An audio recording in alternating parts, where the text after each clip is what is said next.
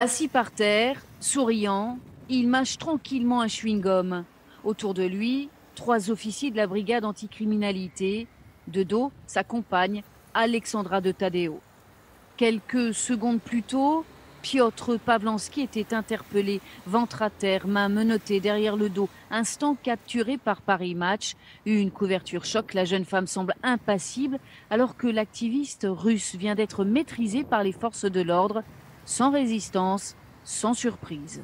Nous sommes à Boulogne-Billancourt ce samedi 15 février. Le couple va être escorté au commissariat du 5e arrondissement de Paris pour y être interrogé. Trois jours de garde à vue et une mise en examen pour atteinte à l'intimité de la vie privée et diffusion d'images à caractère sexuel.